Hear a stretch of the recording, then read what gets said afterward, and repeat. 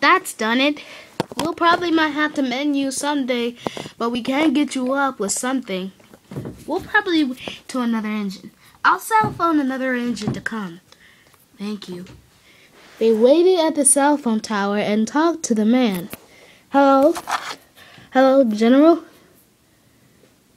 Actually, um, we need to obviously have another train come in here and push us along.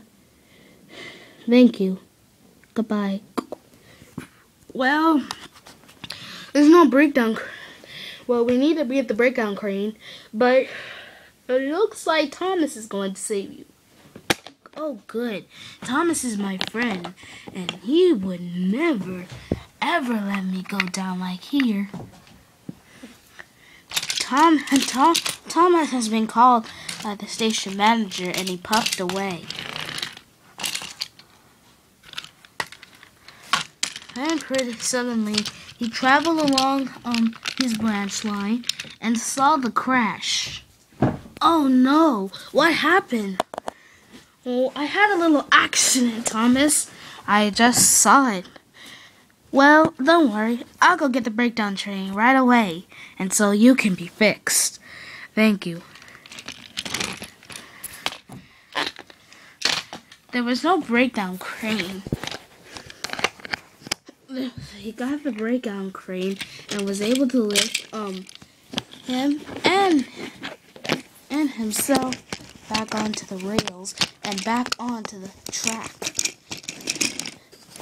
They had to couple the track upwards in order to see if it will fall off.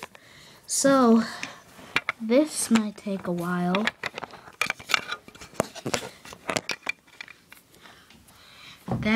Then there.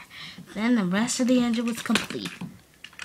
Then Duff went the buffer behind buffer behind him. Okay, come on. Let's go. We can do it. We can do it. He pushed the passenger he pushed the passengers up and down the hill. And then they arrived home. They arrived home. The people, the people and the passengers cheered on as they learned as in Genesis's railway package.